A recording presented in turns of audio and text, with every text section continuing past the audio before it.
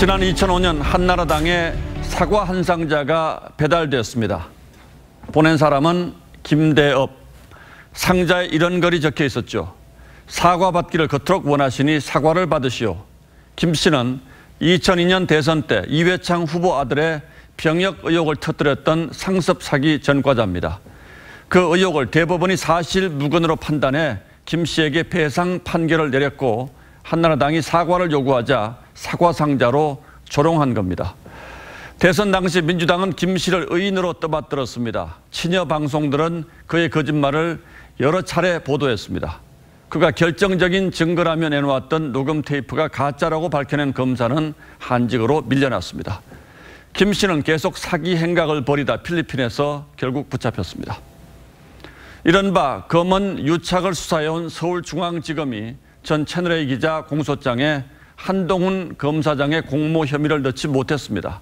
그러니까 검은 없고 언만 남아 애초에 무리한 유착 딱지 붙이기였다는 지적을 피하기 어렵게 됐습니다.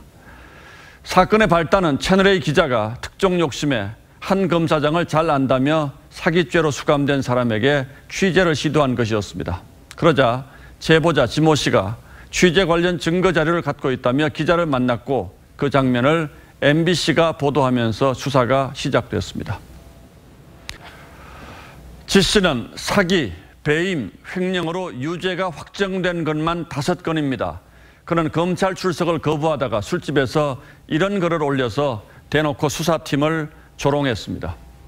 서울중앙지검 검사들 오시면 현장 체포 가능합니다. 12시까지 대기합니다. 수사가 본격화하면서 이성윤 중앙지검장은 윤석열 총장에게 항명했고 추미애 장관은 윤 총장을 수사에서 배제했습니다. 수사팀은 한동훈 검사장 수사를 중단하라는 권고를 무시하고 압수수색을 하러 갔다가 희대 육탄전까지 벌였습니다. KBS와 MBC는 검찰이 검언 공모 증거를 확보했다고 보도했고 KBS는 사과하는 해프닝까지 빚었습니다.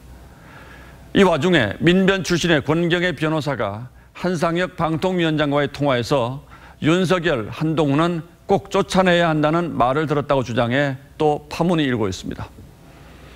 방통위원장은 수사 기법에 대한 얘기를 했을 뿐이라고 반박합니다만 그야말로 점입 가경입니다. 저는 지난 넉 달 검찰 수사 안팎에서 벌어진 이 일들이야말로 진정한 개혁 대상이라고 생각합니다. 그러려면 그 난맥상의 앞장선 법무장관과 중앙지검장부터 책임을 져야 합니다. 반드시 말이죠. 그리고 이번 사건 뒤에 숨은 전모를 속속들이 밝혀내는 것, 그것이야말로 검찰개혁의 출발점이 되리라고 굳게 믿습니다. 8월 6일 앵커의 시선은 이제 권언 유착이었습니다.